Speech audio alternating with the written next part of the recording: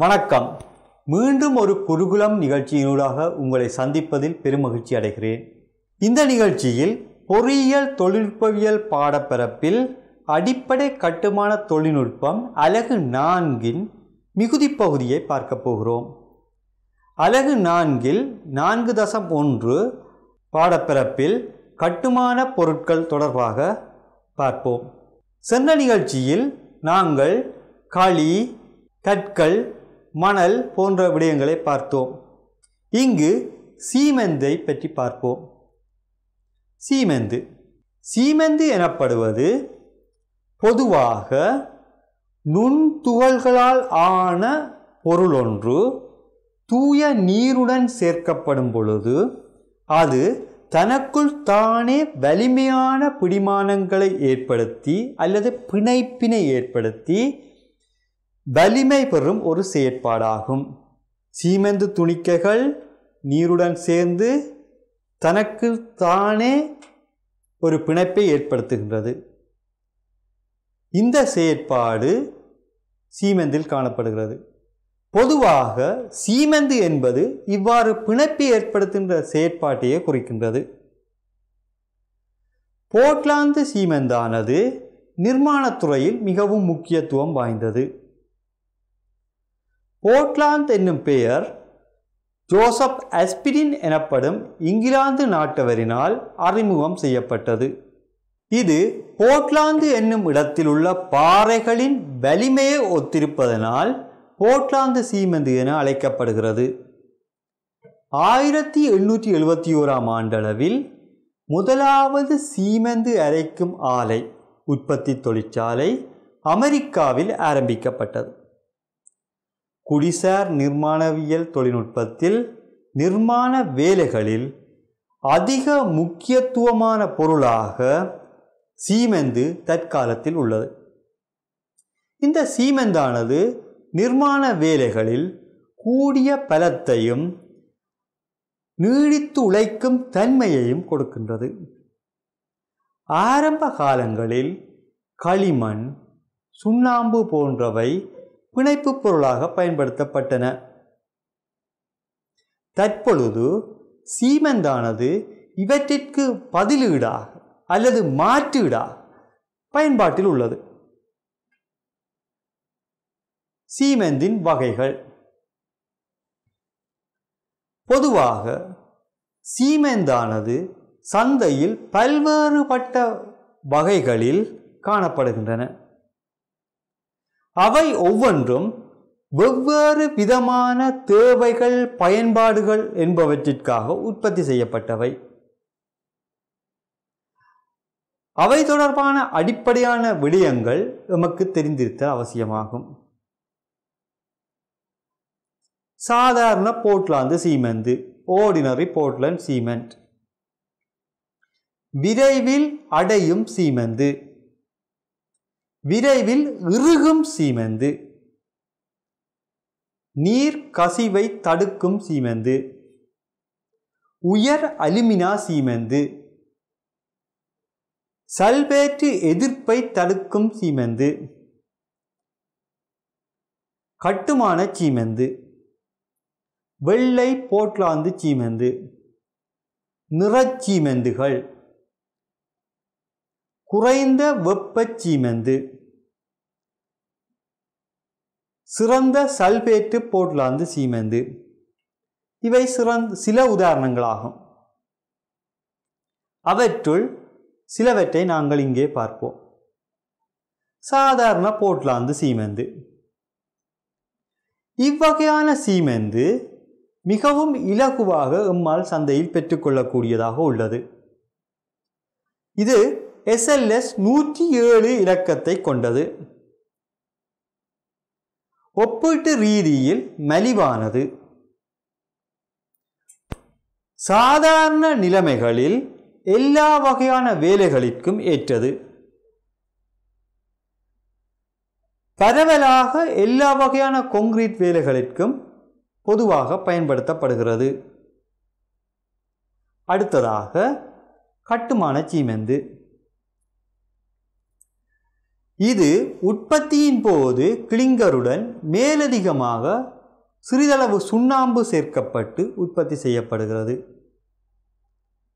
இவ்வகை சீமெந்து சாதாரண போர்ட்லாந்து சீமெந்தை விட மிகவும் மென்மையானது.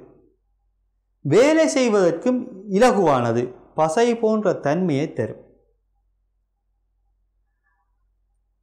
இந்த வகையான சீமெந்து எஸ்எல்எஸ் ஐநூற்றி பதினைந்து இலக்கத்தை கொண்டது. இது ஒப்பமான மேற்பரப்பை தரவல்லது. மிகவும் உண்மையான துணிக்கைகளை கொண்டது. சுண்ணாம்பு சற்று அதிகம் சேர்க்கப்பட்டுள்ளது. பசைத்தன்மையை தரவல்லது. இதனால் ஒப்பமான மேற்பரப்பை தரவல்லது. சிறந்த பிணைப்பை ஏற்படுத்த வல்லது சிறந்த பிணைப்பை ஏற்படுத்த வல்லது. இளகும் தன்மையை கொண்டது. சிறந்த நெகிழ்வுத் தன்மையை கொண்டது. இதன் காரணமாக சில சில நுட்பமான வேலைகளில் இதனை பயன்படுத்தக்கூடியதாக இருக்கும். கட்டுமான சீமெந்து. பயன்பாட்டிற்கு அதிக நேரம் எடுக்காது. சிறந்த மேற்பரப்பு தரவல்லது என்பதனால் முடிப்பு வேலைகளில் அல்லது வர்ணப்பூச்சி வேலைகளிற்கு எமது எமக்கு செலவு குறைவாக காணப்படும். ஏனெனில் ஒப்பமான மேற்பரப்பை தருகின்றபடியினால் அங்கு மீள ஒப்பமாக்கி அதனை பெற்றுக்கொள்ள வேண்டிய நே- நேரமும் செலவும் குறைக்கப்படுகிறது. தீந்தையை இலகுவாக பிரயோகிக்கக்கூடியதாக இருக்கும்.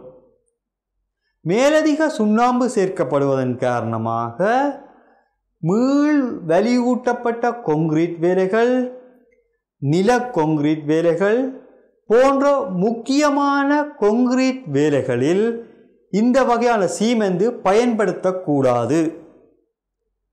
தற்காலத்தில் இந்த வகையான சீமெந்தின் உற்பத்தி தற்காலிகமாக இடைநிறுத்தப்பட்டுள்ளது. அடுத்ததாக நீர்க்கசிவை தடுக்கும் சீமெந்து வாட்டர் ப்ரூஃப் சீமெண்ட்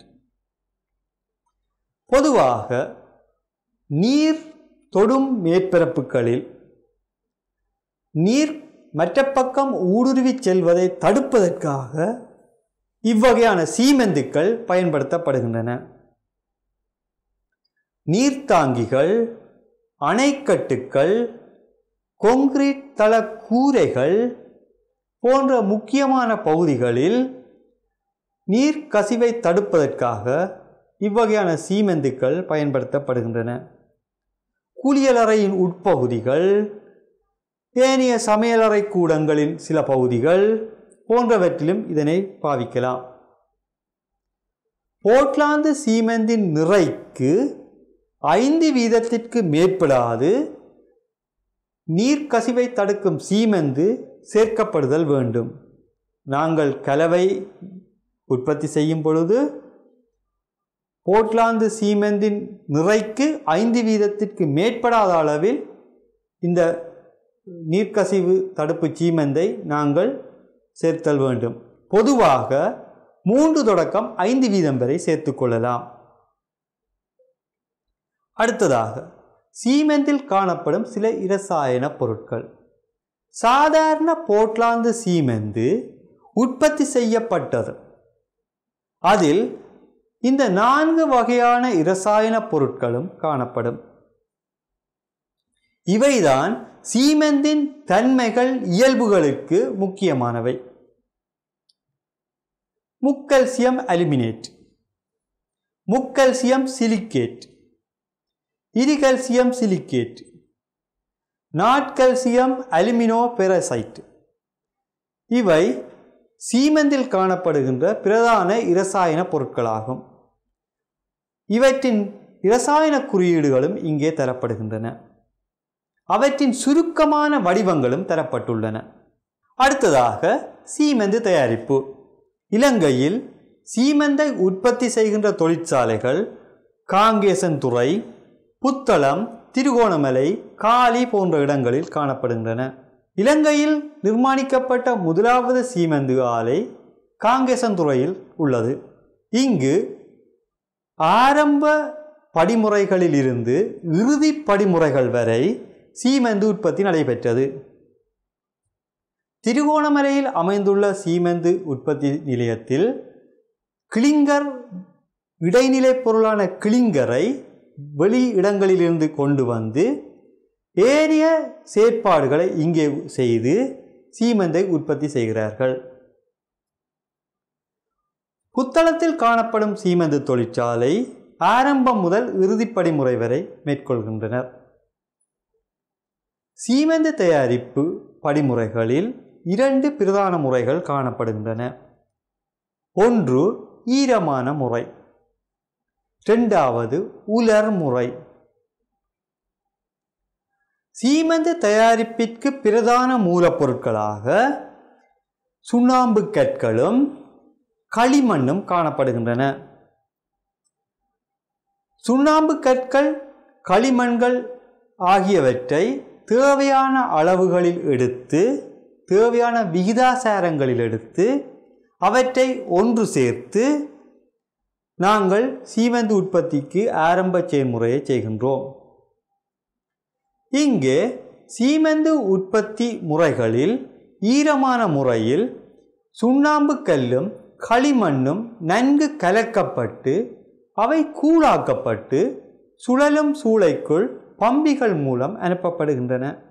உலர் முறையில் சுண்ணாம்பு கற்களும் களிமண்ணும் தேவையான அளவுகளில் உடைக்கப்பட்டு அவை தேவையான விகிதங்களில் ஒன்று சேர்க்கப்பட்டு பந்து ஆலை என்னும் ஆலைக்குள் அனுப்பப்படுகின்றது. அங்கு அவை பந்துக்களால் இரும்பு குண்டுகளால் மோதப்பட்டு அவை மேலும் நுண் துகள்களாக மாற்றப்படுகின்றன. சீமெந்து உற்பத்தி முறையை நாங்கள் பொதுவாக பின்வருமாறு பார்க்கலாம். முதலாவதாக மூலப்பொருட்களை பெற்றுக்கொள்ளுதல். மூலப்பொருட்களை பெற்றுக்கொள்ளுதல் என்னும் பொழுது பிரதான மூலப்பொருளான சுண்ணாம்புக்கள் களி போன்றவற்றை பெற்றுக்கொள்ளுதலாகும். ரெண்டாவது பெற்றுக்கொள்ளப்பட்ட மூலப்பொருட்களை கொண்டு வந்து களஞ்சியப்படுத்தி அதனை உற்பத்திக்காக தயார் செய்தல் வேண்டும். அதில் இருக்கும் மாசுக்கள் அகற்றப்படுதல் வேண்டும். பெரிய அளவான கற்கள் உடைத்து சிறிய அளவாக மாற்றப்படுதல் வேண்டும். இவ்வாறு மூலப்பொருட்களை தயார் செய்து தேவையான வீதங்களில் கலப்பதற்கு தயாராக்குதல். மூன்றாவது கிளிங்கராக்கம். இங்கே தேவையான விகிதாசாரத்தில் உட்செலுத்தப்படுகின்ற மூலப்பொருட்கள் உருளும் சூளையினுள் உட்செலுத்தப்படுகிறது. தன்னைத்தானே சுற்றி கொண்டிருக்கின்ற சூளையினுள் உட்செலுத்தப்படுகின்றது. இந்த சூளை கிட்டத்தட்ட ஆயிரத்தி அறுநூறு பாகை செல்சியஸ் வரை வெப்பமானதாக காணப்படும். இதற்கு எரிபொருட்கள் பயன்படுத்தப்படுகின்றன. உலை எண்ணெய் பயன்படுத்தப்படுகிறது. மேலிருந்து செலுத்தப்படுகின்ற மூலப்பொருட்கள் கீழிருந்து எரிக்கப்படுகின்ற வெப்பம் அதிகமான சுடர்களில் ஊடாக நகர்த்தப்படுகிறது. இதற்கு ஏதுவாக சூளையானது நிலத்துடன் பதினைந்து பாகை சாய்வில் அமைக்கப்பட்டிருக்கும். ஆகவே மூலப்பொருட்களை கிளிங்கராக மாற்றுகின்ற செயற்பாடு கிளிங்கராக்கம் எனப்படும். சீமெந்தை அரைத்தல். பெற்றுக்கொள்ளப்பட்ட கிளிங்கர் தேவையான அளவு ஜிப்சம் சேர்க்கப்பட்டு அரைக்கப்பட்டு மிகவும் நுண்மையான துணிக்கைகளாக மாற்றப்பட்டு சீமெந்தாக பெறப்படுகிறது. இந்த செயற்பாடு சீமெந்தாக அரைத்தல் என்னும் செயற்பாடாகும். அரைக்கப்பட்ட சீமெந்து அரைக்கப்பட்ட சீமெந்தானது பட்டிகள் மூலம் எடுத்துச் செல்லப்பட்டு களஞ்சியப்படுத்தப்படுகின்றது. அல்லது பொதியிடலுக்காக செலுத்தப்படுகிறது. அங்கே ஐம்பது கிலோகிராம் கொண்ட பைகளாக அவை பொதியிடப்பட்டு விற்பனைக்காக வெளிச்செல்கின்றது இதுவே உற்பத்தியில் நடைகின்ற நடைபெறுகின்ற விடயங்களாகும். இதுவே தொழிற்சாலையில் நடைபெறுகின்ற விடயங்களாகும். அடுத்ததாக சீமெந்தை களஞ்சியப்படுத்தும் முறை. சீமெந்தை நாங்கள் களஞ்சியப்படுத்தும் பொழுது சில நியமங்களை பின்பற்றுதல் வேண்டும். அவ்வாறு பேணப்படாது விட்டால் களஞ்சியப்படுத்தப்பட்ட சீமெந்து ஆனது காலநிலை வழியிலுள்ள ஈரப்பதனுடன் சேர்ந்து விரைவாக பழுதடைந்து விடும் அவ்வாறு பழுதடையுமாயின் அதன் உண்மை பலத்திலும் குறைவான பலத்தையே எங்களால் பெற்றுக்கொள்ளக்கூடியதாக இருக்கும். இவ்வாறான இடர்களை தவிர்ப்பதற்காக சீமெந்தை சிறப்பான முறையில் நாங்கள் களஞ்சியப்படுத்துதல் வேண்டும். களஞ்சியமானது காலநிலைகளில் இருந்து முற்றாக பாதுகாப்பளிக்கக்கூடியதாக இருத்தல் வேண்டும். சீமெந்து அடிக்கும் பொழுது அவை இலகுவில் வெளியே எடுக்கக்கூடியதாக வழி விட்டு அடுக்கப்படுதல் வேண்டும். ஒருவர் போய் சீமந்தை எடுத்து வெளியே கொண்டு வரக்கூடியதாக பாதை இருத்தல் வேண்டும். இதன்போது முதலாவதாக உட்கொண்டு வரப்பட்ட சீமந்து. இதன்போது முதலாவதாக உட்கொண்டு வரப்பட்ட சீமந்து முதலாவதாக வெளிக்கொண்டு செல்லப்படும். ஃபர்ஸ்ட் இன் ஃபர்ஸ்ட் அவுட் இது களஞ்சியத்தில் பேணப்படுகின்ற ஒரு பிரதான படிமுறையாகும். உலர்ந்த மர மேடைகளை நிலத்தில் அடுக்கி அதன் மேல் சீமெந்து பைகள் அடுக்கப்படுதல் வேண்டும். பொதுவாக நிலத்திலிருந்து நூற்றி ஐம்பது மில்லிமீட்டர் உயரம் அளவில் மேடைகள் அமைக்கப்படுதல் வேண்டும். அவ்வாறே சீமெந்துக்கள் பைகள் ஒன்றின் மீது ஒன்று அடுக்கும் பொழுது சுவரிலிருந்து அறுநூறு மில்லிமீட்டர் அளவான இடைவெளிகள் பேணப்படுதல் வேண்டும். சீமெந்து பைகள் ஒன்றின் மீது ஒன்று அடுக்கும் பொழுது ஆகக்கூடியது பத்து பைகளுக்கு மேல் அடுக்குதல் கூடாது. சீமெந்து பைகள் ஒன்றுடன் ஒன்று நெருக்கமாக அடுக்கப்படுதல் வேண்டும். ஏனெனில் சூழலில் உள்ள காற்றானது இடை இடைவெளிகளினூடாக செல்லும் பொழுது அதன் ஈரப்பதன் காரணமாக சீமெந்துக்கள் விரைவாக பழுதடைவதை தடுப்பதற்காகும். சீமெந்துக்களை அடுக்கும் போது நாங்கள் சீமெந்து அடுக்குகளை மூடி தரப்பாலினால் அல்லது பொலித்தீனினால் கட்டி வைத்தல் வேண்டும். அடுக்கப்பட்ட சீமெந்து பொதிகள் வாரத்திற்கு ஒரு முறையேனும் மீண்டும் பிரட்டி அடுக்குதல் வேண்டும். இல்லாவிட்டால் அவை இறுகி கட்டியாகிவிடும். சிறு வேலைத்தளங்களில் அல்லது வீடுகளில் அன்றாடம் பயன்பாட்டிற்கு எங்களால் பெற்றுக்கொள்ளப்படுகின்ற சீமெந்து பைகளை நாங்கள் எவ்வாறு பாதுகாக்கலாம்? நிலத்தின் மேல் நூறு மில்லிமீட்டர் அளவான உயரத்தில் ஒரு மேடை அமைத்து அதில் அடுக்கி வைக்கலாம். சீமெந்து அடுக்குகளை மூடி தரப்பாலாலோ அல்லது பொலித்தீன் பைகளாலோ அல்லது உரைப்பைகளால் கூட மூடி பாதுகாக்கலாம். அடுக்கின் மேற்பகுதி கூரை வடிவமாக அமையுமாறு அடுக்கி அவற்றை பொருத்தினால் மூடுவதன் ஊடாக நீர் படுமாயின் அவை வலிந்து விரைவாக வெளியே செல்லக்கூடியதாக இருக்கும். ஆகவே இவ்வாறான நுட்பங்களை பயன்படுத்தி சிறு வேலைத்தளங்களிலோ அல்லது நாளாந்தம் நாங்கள் வீடுகளிலோ சீமெந்தை பாதுகாக்கலாம். சீமெந்தின் பௌதீக இயல்புகள். சீமெந்து சில பௌதிக இயல்புகளை தன்னகத்தே கொண்டுள்ளது. ஒன்று நுண்தன்மை. முதலாவதாக நுண்தன்மை. ஃபைன்னஸ் சீமெந்து துணிக்கைகளின் அளவு. ஒவ்வொரு துணிக்கைகளும் எவ்வளவு சிறியதாக இருக்கிறதோ அவ்வளவு சிறப்பானதாகும். ஏனெனில் நீருடன் சேர்ந்து நீரேற்ற செயல்முறை நடைபெறும் பொழுது அந்த ஒவ்வொரு துணிக்கைகளும் ஒரு ஜெல் ஜெலி வடிவத்தில் மாறும். அந்த ஜெலி வடிவங்களே ஒன்றோடொன்று பிணைப்புகளை ஏற்படுத்தும். ஆகவே எவ்வளவு சிறிய துணிக்கைகளோ அவ்வளவு பிணைப்புகளை நாங்கள் அங்கே ஏற்படுத்துகின்றோம். ஆகவே சீமந்த துணிக்கைகள் மிகவும் சிறியதாக இருத்தல் வேண்டும். ஒரு சிறந்த சீமெந்திற்கு அந்த பண்பு மிகவும் முக்கியமானதாகும். ரெண்டாவது நீரேற்றம். நீருடன் சிறப்பான நீரேற்ற தாக்கத்தை அது அடைதல் வேண்டும். நாங்கள் முன்பு பார்த்த அந்த நான்கு வகையான இரசாயன மூலக்கூறுகளும் நீருடன் தாக்கமடைய ஆரம்பிக்கும். இதன் பொழுது சிறிதளவு வெப்பமும் பெறும். அந்த தாக்கம் அடைவதன் காரணமாகவே சீமந்த துணிக்கைகள் ஜெல்லாக மாறுகிறது. இதுதான் நீரேற்ற தாக்கம் என்று சொல்வோம். ஆகவே சீமெந்தின் பௌதிக இயல்புகளில் நீரேற்றம் மிகவும் முக்கியமானதாகும். அமைவு காலமும் வெண்மை அடைதலும். அமைவு காலம் வெண்மை அடைதல். ஒரு சீமெந்தானது சீமெந்தினுள் நாங்கள் நீர் சேர்த்து அதனை கலந்து ஒரு இடத்தில் வைப்போமாக இருந்தால் குறிப்பிட்ட ஒரு நேரம் வரை அது தன் நிலையில் அப்படியே இருக்கும். இந்த காலம்தான் நாங்கள் வேலை செய்வதற்குரிய காலம். அந்த சீமெந்தை நாங்கள் வேலை செய்வதற்குரிய காலம். அதன் பின் அவர் நீரேற்ற தாக்கத்தை அடைந்து அந்த ஜெலி போன்ற உருவங்களை ஒவ்வொரு துணிக்கைகளிலும் உருவாகி பின்னர் அவர் பிணைப்புகளை ஏற்படுத்த தொடங்குவார். பிணைப்புகள் ஏற்படுத்த தொடங்கும் சந்தர்ப்பங்களில் நாங்கள் அவற்றை எடுத்து வேலை செய்வோமோ இருந்தால் அந்த பிணைப்புகள் உடைவடைந்து அந்த வலிமை குறைவடை. ஆகவே சீமந்தின் அமைவு காலம் என்பது மிகவும் பிரதானமான ஒரு விடயம்.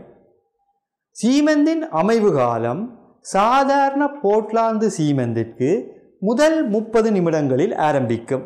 நீர் சேர்த்து முப்பதாவது நிமிடத்தில் அமைவு காலம் ஆரம்பிக்கும். ஆகவே நாங்கள் வேலைத்தளங்களில் நீர் சேர்க்கப்பட்ட சீமெந்து கலவையை முப்பது நிமிடங்களுக்குள் பயன்படுத்துதல் கண்டிப்பானதாகும். பின்னர் அவை அமைக்கப்பட்ட உருவங்களிலேயே காணப்படும். அமைவு காலத்தை முதலாவது முப்பது நிமிடத்தை நாங்கள் ஆரம்ப அமைவு காலம் என்று சொல்வோம். பின்னர் அவை மேற்கொள்ளப்பட்ட அந்த பிணைப்புகள் மெதுமெதுவாக நீருடன் சேர்ந்து மேலும் தாக்கமடைந்து இறுகி ஒரு இறுக்கமான நிலையை அடையும். அந்த இறுக்கமான நிலையை நாங்கள் இறுதி அமைவு காலம் என்று சொல்வோம். இந்த இறுதி அமைவு காலம் சாதாரண போர்ட்லாந்து சீமெந்திற்கு பத்து மணத்தியாலங்கள் ஆகும். ஆகவே அமைவு காலம் என்பது முதலாவது முப்பது நிமிடத்தில் ஆரம்பித்து பத்தாவது மணத்தியாலத்தில் முடிவடையும். இந்த காலத்தில் கட்டப்பட்ட அமைப்புகளில் அதிர்வுகளோ வேறு மாற்றங்களோ உருவ அமைப்புகளில் ஏதாவது சேதங்களை ஏற்படுத்தக்கூடிய நடவடிக்கைகளோ மேற்கொள்ளுதல் கூடாது. அப்பாராயின் மட்டுமே அந்த அமைப்பு மிகவும் பலம் வாய்ந்ததாக காணப்படும். அடுத்தது பலம் அல்லது உறுதி. நாங்கள் பயன்படுத்தப்பட்ட சீமெந்து பொருட்கள் பெற்றுக்கொள்கின்ற பலம். சீமெந்தின் பலம் பொதுவாக மூன்று ஏழு என குறிப்பிட்ட நாட்களுக்கு ஒரு கால் பரிசோதனை மூலம் அறிந்து கொள்ளப்படும். இருபத்தி எட்டு நாட்களில் பொதுவாக சீமந்து தனக்கு தேவையான பலத்தை பெற்றுக்கொள்ளும். அதன்பின் முடிவிலி காலம் வரை அது மெது மெது மெது மெதுவாக அதிகரித்து செல்லும். ஆகவே பலம் அல்லது உறுதி என்பது சீமந்தில் மிகவும் முக்கியமானது ஒன்றாகும். அடுத்ததாக இயைதகவு. இதுவும் சீமந்தின் பௌதீக இயல்புகளில் பிரதானமானதாகும். அடுத்ததாக மரம் டிம்பர். நிர்மாண கட்டமைப்பு துறையில் மிகவும் நீண்ட காலமாக அதிகளவில் பரவலாக பயன்படுத்தப்படுகின்ற ஒரு பொருள் மரமாகும். இது இயற்கையிலிருந்து பெற்றுக்கொள்ளப்படுகிறது இயற்கையிலிருந்து பெற்றுக்கொள்ளப்படுவதனால் அவை ஒரு முறை அற்ற விதத்தில் விரைவாக அழிவடைந்து செல்லும் ஒரு வளமாகவும் காணப்படுகிறது. இயற்கை சூழலிலிருந்து இலகுவாக பெற்றுக்கொள்ளக்கூடிய ஒரு மூலப்பொருளாகும். கட்டிட நிர்மாணத் துறையில் பல்வேறுபட்ட சந்தர்ப்பங்களிலும் மரத்தின் பயன்பாடு காணப்படுகிறது. தளபாடங்கள் உற்பத்தி கூரை அமைப்புகள் கதவு ஜன்னல்கள் அமைத்தல் சுவர்கள் அமைத்தல் முடிப்புகளை ஏற்படுத்துதல் சுவர்களுக்கு மேல் முடிப்புகளை ஏற்படுத்துதல் தரைகள் அமைத்தல் பாவு வேலைகள் அமைத்தல் சீலிங் பாவு வேலைகள் எனப்படுவது சீலிங் பாவு வேலைகள் அமைத்தல் போன்றவற்றில் அதிக அளவில் பயன்படுத்தப்படுகிறது. இவற்றை விட பாலங்களுக்கு பயன்படுத்தப்படுகிறது. இவ்வளவு மட்டுப்படுத்த வளமாக இருக்கின்ற இந்த மரம் மிகவும் அதிக அளவில் குடிசார் எந்திரவியலில் அல்லது தொழில்நுட்ப பிரயோகத்தில் காணப்படுகிறது. பிரதானமாக மரங்களை நாங்கள் இரண்டு வகையாக வகைப்படுத்தலாம். இங்கே பாருங்கள். ஒன்று இயற்கையான அரிமரம் அல்லது இயற்கையான மரம். ரெண்டாவது செயற்கையான மரம் அல்லது செயற்கையான அரிமரம்.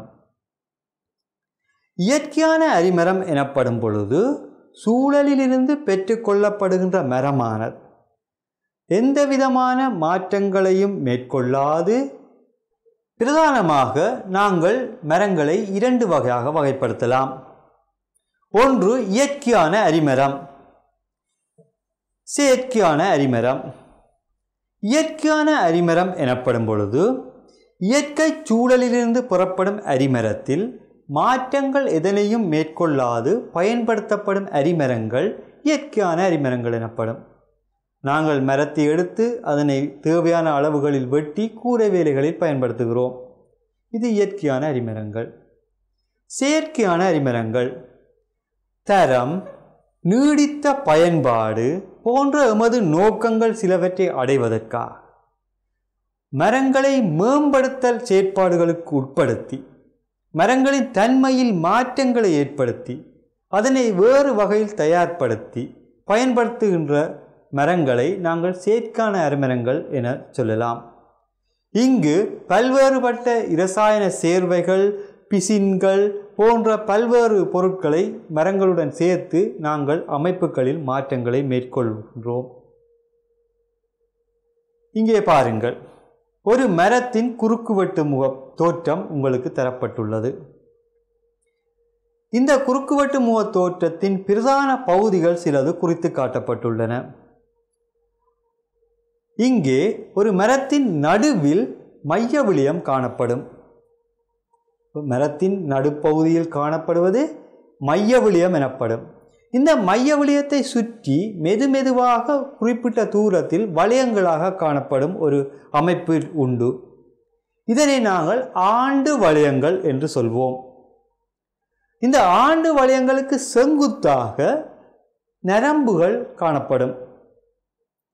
இந்த நரம்புகளே மையத்திற்கும் வெளிப்புற பட்டைகளுக்கும் இடையிலான உணவு கடத்தல் செயற்பாட்டை மேற்கொள்கின்றது. மையத்தின் நடுப்பகுதியிலிருந்து வெளிநோக்கி செல்லும் பொழுது வன்மரம் சோற்றி மரம் அல்லது மென்மரம் காணப்படும். பட்டையை எடுத்துக்கொண்டால் பட்டை வெளிப்பட்டை உட்பட்டை என காணப்படுகின்றது. வெளிப்பட்டை இறந்த கலங்களாலும் உட்பட்டை உயிருள்ள கலங்களாலும் காணப்படும். இவை உணவு கடத்தலுக்கு பயன்படுகின்றது. ஆக ஒரு மரத்தின் குறுக்குவெட்டு தோற்றம் இதுவாகும். பட்டை. மரத்தை பாதுகாக்கும் ஒரு பகுதியாகும். இதன் உட்பட்டை ஆண்டு வளையங்கள் உருவாகுவதற்கு உதவி புரிகின்றன.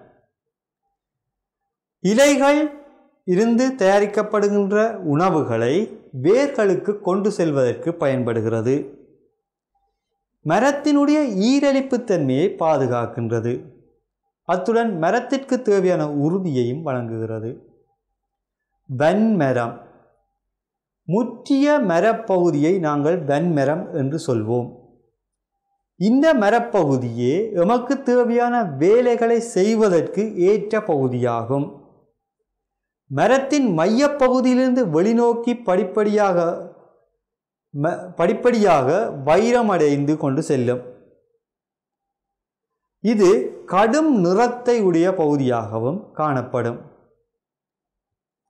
சோற்றி.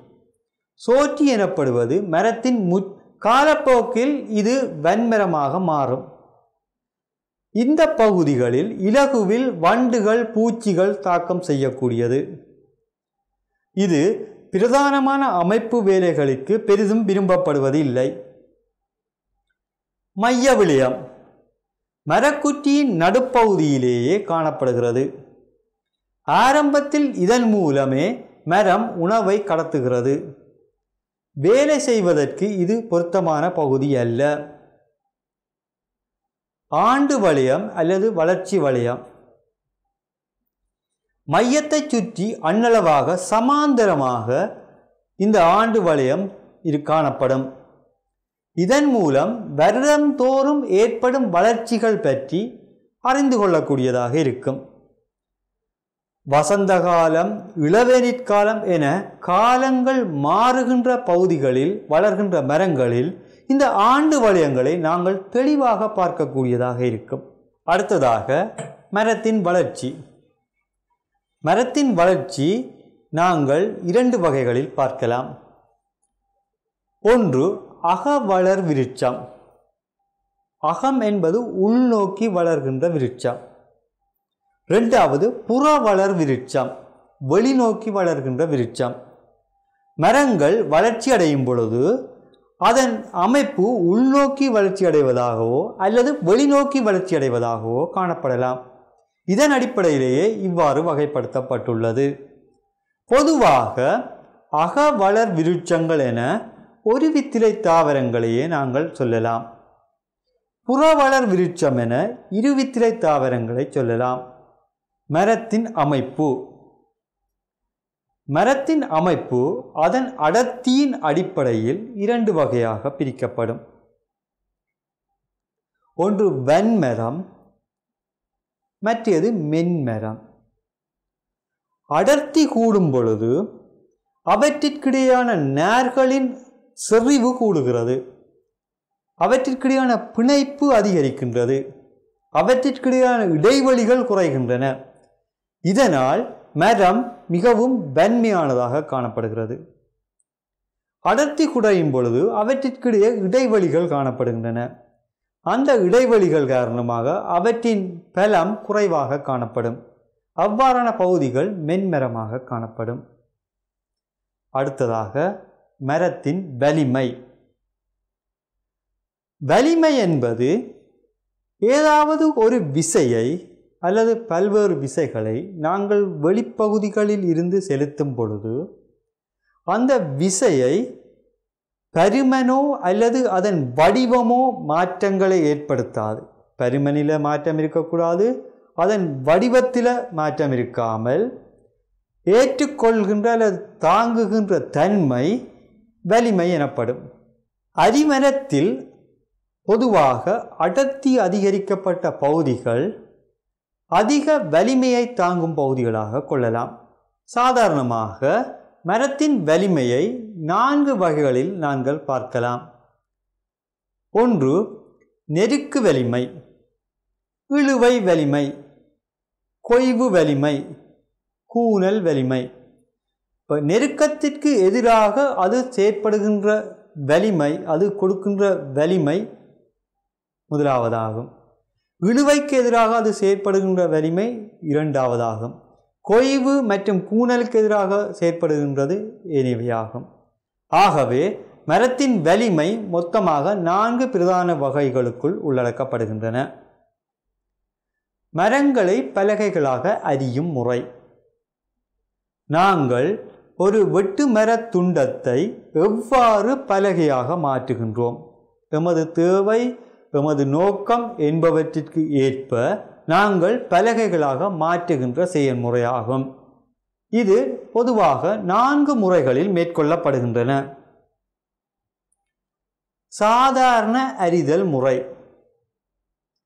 இங்கே மரமானது மரக்குற்றியை அவ்வாறு இருக்கிற மாதிரியே வைத்து அதை தேவையான அளவுகளில் பலகைகளாக அறியும் முறையே சாதாரண அறிதல் முறையாகும். இங்கு வேறெந்த செயற்பாடுகளும் மேற்கொள்ளப்படுவதில்லை. இவ்வாறு புறப்படும் மரங்கள் ஒரே அளவான மரப்பலகைகளாக அறியக்கூடியதாக காணப்படும். இவ்வாறான இந்த அறிதல் முறையில் தேவையற்ற வீண் விரியங்கள் குறைக்கப்படுகின்றது. ஏனெனில் எல்லா பலகைகளும் ஒரே அளவில் முழு மரத்திலும் அறியப்படுகின்றது. சோற்றி பகுதிகளில் காணப்படும் பலகை பகுதி பலம் தாங்கக்கூடிய வேலைகளுக்கு பயன்படுத்துவதை தவிர்த்தல் வேண்டும். இப்படி இவ்வாறு அறியும் பொழுது சோற்றி பகுதிகளில் வருகின்ற பலகைகள் முக்கியமான வேலைகளிலிருக்கு பயன்படுத்துவதை தவிர்த்தல் வேண்டும். இந்த முறையில் மத்திய பகுதியில் காணப்படும் பலகையானது சோற்றித்தன்மை வாய்ந்ததாக காணப்படும். இதன் காரணமாக முக்கியமான அமைப்பு வேலைகளுக்கு இது பொருத்தப்பாடானதாக காணப்பட மாட்டாது அடுத்ததாக தொடுகை அல்லது தொடலி முறை. இங்கு ஆண்டு வளையங்களுக்கு தொடலியாக செல்லக்கூடியதாக ஆண்டு வளையங்களுக்கு தொடலியாக செல்லக்கூடியதாக பலகைகள் வெட்டப்படும். இது ஒரு சிறப்பான முறையாக கொள்ளப்படுகிறது. சீரற்ற தடிப்புகளை உடைய பலகைகள் இங்கு வெட்டப்படலாம். அதிக அமுக்க விசையை தாங்கக்கூடிய பலகைகளை நாங்கள் இங்கே பெற்றுக்கொள்கின்றோம். மாடித்தளங்கள் படிகள் பாலங்கள் போன்ற கட்டமைப்பு வேலைகளிற்கு இவ்வகையாக அறியப்படும் மரங்களே சிறப்பானவையாகும். அடுத்ததாக ஆரை அறிதல் முறை. ஒரு மரத்துண்டத்தை நான்காக பிரித்து ஆரை வளையத்தில் அறி அறியும் முறையாகும். நான்காக பிரித்து ஆரை முறையில் அறியும் முறையாகும். இங்கு ஆண்டு வளையங்களுக்கு செங்குத்தாக நரம்புகளுக்கு சமாந்தரமாக பலகைகள் அறியப்படுகின்றன. இம்முறையில் அதிகம் கழிவுகள் ஏற்படாது.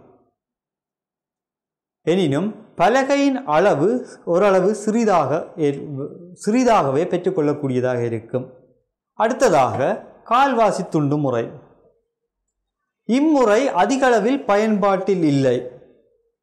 எனினும் இம்முறையில் நாங்கள் மரங்களை வெட்டி பெற்றுக்கொள்வோமாயின் அதில் வீண் விரியங்களை ஓரளவு தவிர்த்து கொள்ளலாம். அடுத்ததாக மரங்களில் ஏற்படும் குறைபாடுகள். பிரதானமாக மரங்களில் ஏற்படும் குறைபாடுகளை நாங்கள் மூன்று வகைகளுக்குள் உட்படுத்தலாம். ஒன்று இயற்கை விசைகளால் ஏற்படும் குறைபாடுகள். ரெண்டாவது பதப்படுத்தும் போது அல்லது மாற்றீடு செய்யும் போது ஏற்படும் குறைபாடுகள். இறுதியாக பூச்சிகள் பங்கசுக்களால் ஏற்படும் குறைபாடுகள். மரங்களில் ஏற்படும் குறைபாடுகள் அனைத்தும் இந்த மூன்று பிரிவுகளில் உள்ளடக்கப்படலாம். இயற்கை விசைகளால் ஏற்படும் குறைபாடுகள். இங்கே பாருங்கள். இயற்கை விசைகளால் கணுக்கள் அலறல்கள் காற்று வெடிப்புகள் மேற்பதிவுகள் ஏற்படுகின்றன. இவ்வாறான குறைபாடுகள் இயற்கை விசைகளால் ஏற்படுகின்றன. பதப்படுத்தும் போது அல்லது மாற்றீடு செய்யும் போது சில குறைபாடுகள் ஏற்படுகின்றன. திருகுதல் அல்லது முருகுதல் என்று சொல்வோம். திருகுதல் அல்லது முருகுதல் என்று சொல்வோம். அது கிண்ண வடிவ வளைவு. இப்படி கோலி கிண்ண வடிவமாக வளைதல். வில் வடிவமாக வளைதல். நீழ்வளைவு அடுத்ததாக நெருக்கல் முறிவு. இவை அனைத்தும் பதப்படுத்தலின் போது அல்லது மாற்றீடு செய்யும் போது ஏற்படும் குறைபாடுகளாகும். பூச்சிகள் மற்றும் பங்கசுக்களால் ஏற்படும் குறைபாடுகள். மர மேற்பரப்புகளில் படிவுகளாக ஏற்படும் பங்கசு படிவுகள். அது வெண்ணிறமாகவோ அல்லது சாம்பல் நிறமாகவோ ஏற்படலாம். உளுத்தல் என்னும் செயற்பாடு. பூச்சிகள் நுண்ணுயிர்களால் ஏற்படும் செயற்பாடாகும். இங்கு உளுத்தல் எனப்படுவது இரண்டு வகையாக மேலும் ப- பார்க்கலாம். ஒன்று ஈர உளுத்தல் மற்றது உலர் உளுத்தல். ஈர உளுத்தல் எனப்படுவது ஈர நிலையில் காணப்படும் மரங்களில் ஏற்படும் பாதிப்பாகும். உலர் உளுத்தல் எனப்படுவது உலர் நிலையில் காணப்படுகின்ற மரங்களில் ஏற்படும் பூச்சி தாகங்களாகும் அடுத்ததாக மரங்களை பதப்படுத்துதல். மரங்களை சேதம் விளைவிப்பதில் இருந்து அல்லது சேதங்கள் ஏற்படாத வண்ணம் அல்லது சேதங்களை இழிவாக்குவதற்கு. அதன் நீரடக்கத்தை குறைக்கும் செயல்முறை அரிமரங்களை பதப்படுத்துதல் எனப்படும். மரத்தின் நீரடக்கத்தை நாங்கள் குறைத்து வைத்து பேணும் முறையே இந்த செயல்முறையாகும்.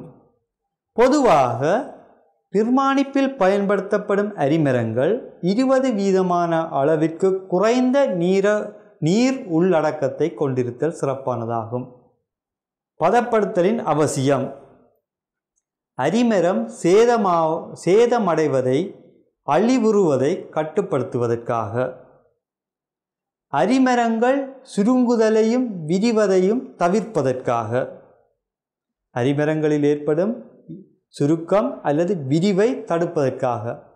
அரிமரத்தில் உயிரினங்களின் தொழிற்பாட்டினால் ஏற்படும் சேதங்களை தவிர்ப்பதற்காக. அரிமரம் கொண்டு செல்லலை எளிதாக்குவதற்காக. பொறிகள் மூலம் அரிமரத்தை கையாள்வதை இலகுவாக்க. அரிமர நற்காப்பு நடவடிக்கைகளை இலகுவாக்க நாங்கள் அரிமரத்தை பாதுகாக்கின்ற செயற்பாட்டை இலகுவாக்குவதற்கு பதப்படுத்துதல் முக்கியமானதாகும். அரிமரத்தின் வலிமையை அதிகரிப்பதற்காக.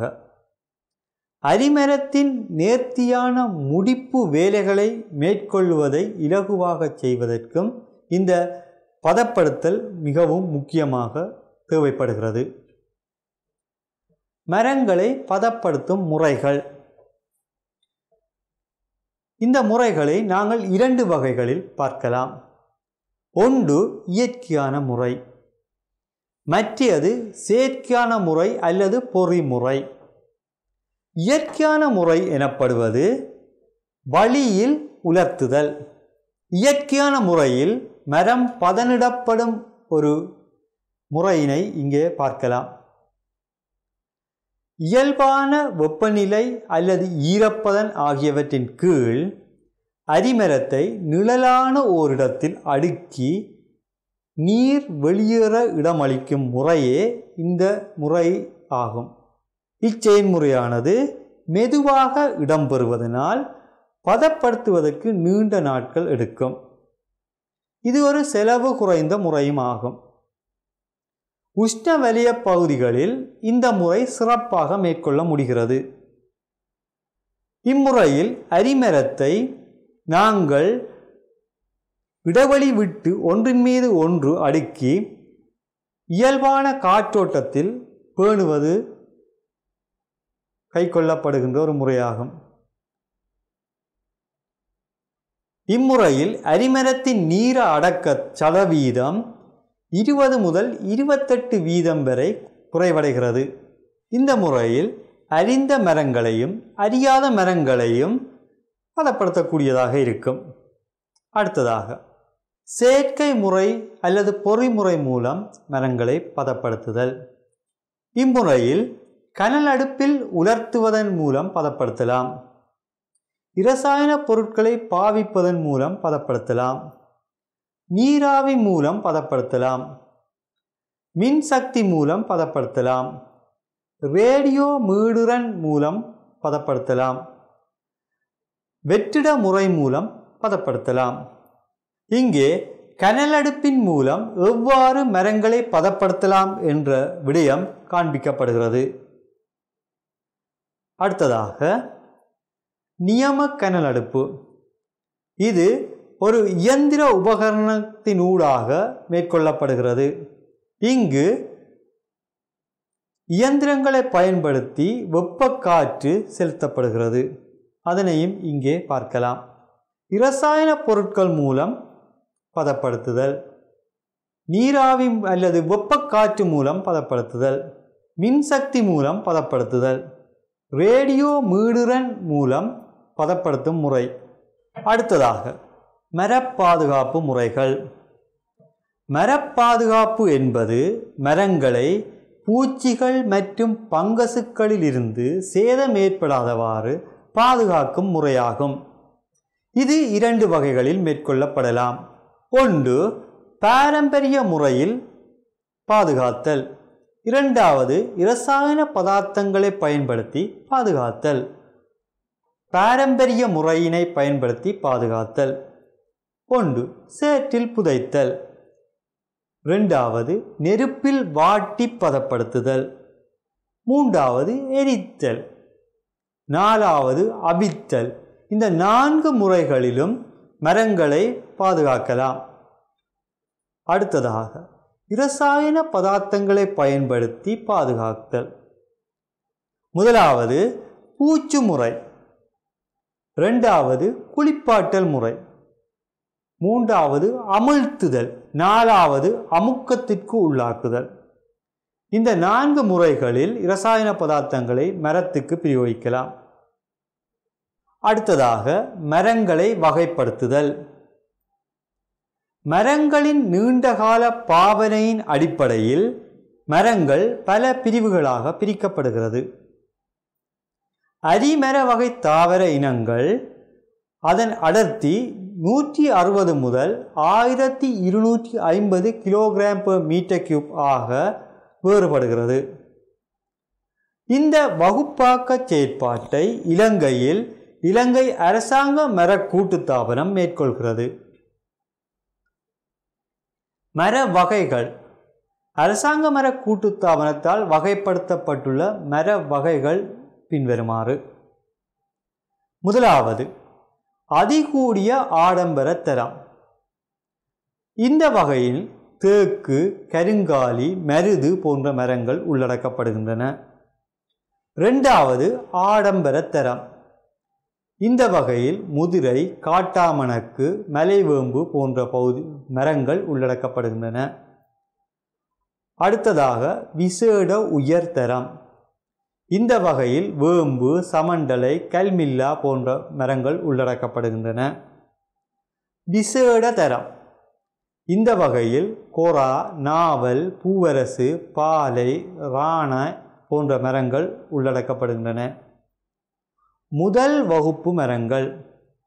இதில் இலுப்பை புலி வாகை போன்ற மரங்கள் உள்ளடக்கப்படுகின்றன. இரண்டாம் வகுப்பு மரங்கள்.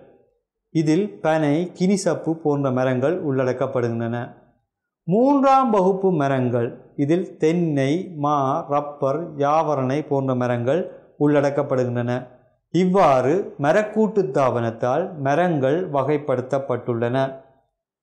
இங்கே அதி ஆடம்பர வகுப்பு மரங்கள் கட்டட நிர்மாணத்துறையில் மிகவும் ஆடம்பரமான நிர்மாணிப்பு நடவடிக்கைகளுக்காக பயன்படுத்தப்படுகிறது. அடுத்ததாக தீந்தை பெயிண்ட்ஸ் நிர்மாணத் துறையில் நிர்மாணிப்புகளின் பாதுகாப்பிற்கு மரங்கள் மரத்தளபாடங்களின் பாதுகாப்பிற்கு அதன் அழகினை மேலும் மெருகூட்டுவதற்கு நாங்கள் தீந்தையை பயன்படுத்துகிறோம். பல்வேறு வகையான காலநிலைகள் பூச்சிகள் போன்றவற்றிலிருந்து பாதுகாப்பதற்கு தீந்தைகள் எமக்கு உதவுகின்றன. தீந்தையின் பிரதான கூறுகள். தீந்தையின் பிரதான கூறுகள் ஐந்து வகையில் பார்க்கலாம். முதலாவது அடிப்படை பொருட்கள். இது செவ்வியத்தூள் வெள்ளியத்தூள் நாக ஒட்சைட்டு தூள் போன்றவையாகும். வாகினி அல்லது வாகனம். இதற்கு ஆளி விதை எண்ணெய் பயன்படுத்தப்படுகிறது. கரைப்பான். இது தின்னர் தேப்பன்டைன் அல்லது அல்கஹோல் போன்ற பொருட்கள் கலக்கப்படுகின்றன. விரைவாக தீந்தையை உலர்த்துவதற்கு உலர்த்திகள் தேவைப்படுகின்றன.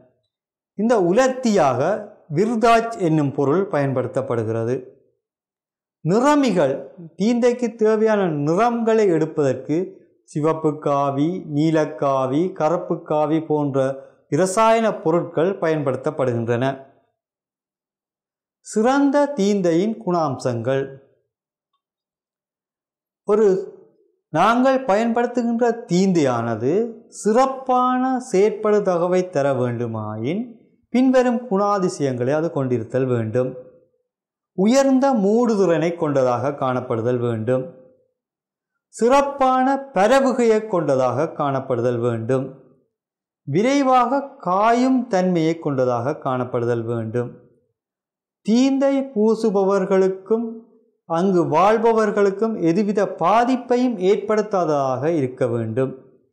சூழலை மாசுபடுத்தாத இயல்பினை கொண்டதாக காணப்படுதல் வேண்டும். அழகான கவரக்கூடிய தன்மையை உடையதாக காணப்படுதல் வேண்டும். அடுத்ததாக தீந்தை பூசுதல். புதிய மேற்பரப்புகள் எனின் முதலில் ஆரம்ப பூச்சு பூசப்படுதல் வேண்டும். பின்னர் கீழ்ப்பூச்சு பூசப்படும். அதன் பின்னர் முடிவு பூச்சு பூசப்படும்.